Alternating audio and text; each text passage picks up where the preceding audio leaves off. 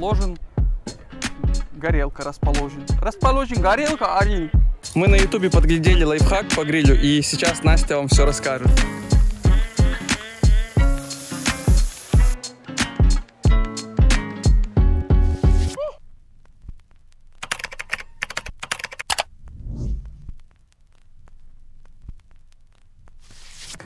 Когда мы мечтали об автопутешествии, то всегда представляли, что у нас будет автопалатка, маркиза и гриль. Почему-то вот именно такая картинка у нас в голове формировалась, когда мы думали вот именно вот о путешествиях. Гриль? А, не знаю, как все, может быть, у нас у одних ассоциация с путешествиями, это ассоциация именно с вкусной едой. Надеюсь, мы не единственные такие любители покушать. А, нам... Заехать подальше и повкуснее да. поесть. А, и нам всегда казалось, что очень уютно и очень атмосферно, когда вот ты едешь целый день, потом где-то останавливаешься в красивом месте, расставляешь гриль, стульчики, столик, сидишь, что-то вкусно готовишь, общаешься. И вот, ну вот мы так думаем, что именно вот из таких моментов складывается вся атмосфера и вот романтика автопутешествий. И поэтому, как вот только у нас появилась возможность, мы сразу же заказали гриль. Сразу скажу, почему купили именно О-гриль. А, во-первых, потому что довольно много отзывов именно от автопутешественников. Э, да, мы, в общем, вообще пересмотрели, наверное, весь YouTube а, на тему автопутешествий и уже не раз, и не два, и не три, а раз десять уже встретили именно вот блогеров, которые пользуются а, грилем этой компании. Еще объективно О-гриль сильно дешевле конкурентов, поэтому тоже здесь по цене как бы выбора не стояло. И нам еще понравились э, отзывы, которые мы прочитали еще в интернете, то есть на том же Яндекс.Маркете, маркете было много положительных отзывов. И в целом отношение к клиентам у гриля тоже нам понравилось. Их отношение к клиентам и их лояльность. Ну что, я думаю, уже можно приступить к обзору. Да, Будем смотреть подробнее наш гриль. Погнали!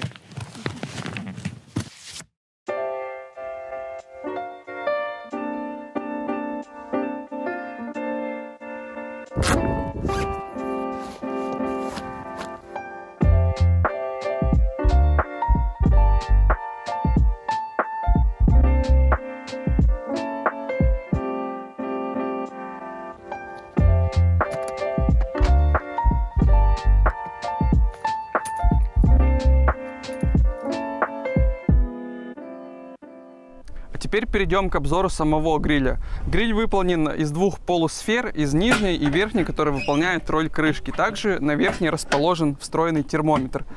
На обратной стороне гриля находится вот такой пенал встроенный. Туда можно спрятать переходники, например, для цанговых баллонов, либо что-то еще. Места довольно здесь много. На боковой части находится кнопка пьезоподжига и регулятор подачи газа.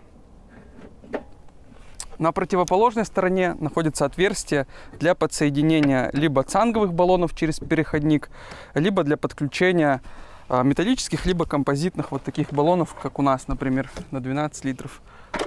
Объем можно любой подключить. Крышка гриля надежно фиксируется специальной защелкой, которая особенно актуальна в автопутешествиях, когда нужно, чтобы ничего не шумело и не гремело в дороге. Но самое интересное находится под крышкой гриля. Это большая 8-килограммовая чугунная решетка. А под решеткой находится горелка. В гриле все продумано до мелочей. Даже есть специально вот такая вот чашечка для сбора жира. Когда вы готовите, у вас все стекает по стенкам и попадает именно вот в эту вот емкость. Сполоснули, либо влажными салфетками протерли и все, чисто.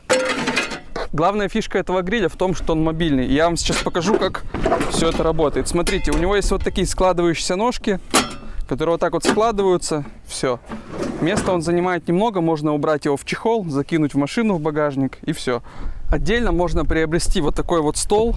Э, в компании O'Grill он представлен в двух вариациях. O-Dog, э, это вот как у нас круглый, и O-Dog Light, э, похожий стол, только квадратной формы.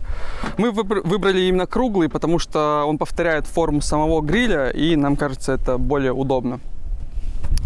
Особенность стола еще и в том, что есть отверстия специальные для ножек. От, открываете вот так вот ножки, ставите гриль, и он надежно фиксируется в этих отверстиях. У стола есть крючки, которые можно использовать для того, чтобы повешать приборы. Нож, щипцы, щетку.